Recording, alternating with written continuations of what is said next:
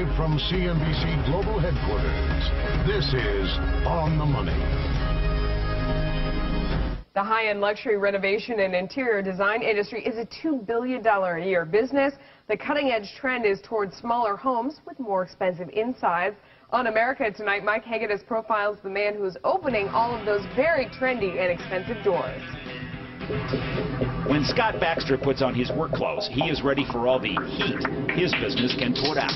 We're pouring brass, this will be 2,000 degrees. This, the S.A. Baxter Architectural Hardware Foundry in Orange County, New York. It is here, using the truly ancient, i.e. Egyptian, lost wax process, that Baxter and his crew turn out what are considered to be some of, if not the best, one-of-a-kind items in their business. And their business is doorknobs. Every single part we make has to have a positive in wax, and then it gets destroyed, and uh, it's, repla it's replaced with metal, and of course that's what ultimately ends up on your uh, front door. It is likely unique enough that Baxter's operation, two years old, even exists. The first architectural hardware company in the New York City Design Center, a combination of high-tech conceptualization prototyping, and state-of-the-art mold manufacturing tied to artisan production techniques.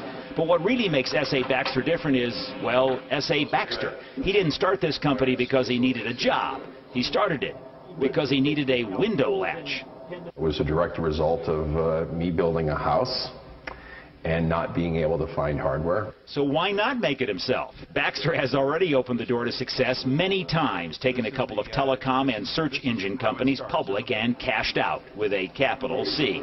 He just figured if he couldn't find high-end hardware, neither could other folks with enough money to spend a couple of hundred bucks per doorknob. I just saw a business opportunity. So you start combining, you know, your past 20 years with what you know and and what you like and Next thing you know, you have a, a doorknob business. Imagine if you hadn't been able to find the toilet seat that you wanted. I don't know if I would have gone that far, but.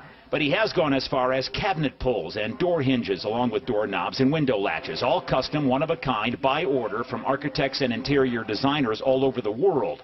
Speaking of the world. So we actually went and looked at China uh, to see if we could get it done there. And uh, pleasantly surprised, you can't.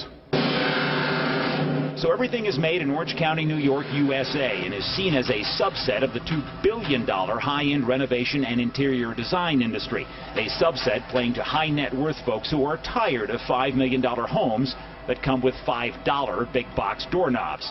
As for Scott Baxter, after years of making money, he's now making something else. So is there a sort of a visceral thing about this? Absolutely. I love this. Yeah. You know, it's, uh, it's different than what personal. you've done before. Oh, it's personal. Yeah, you're letting this, you're let, every time one of these goes, you, you know, you have to have a ceremony to say goodbye because you put uh, so many uh, hours into it and, you know, how else do you explain that?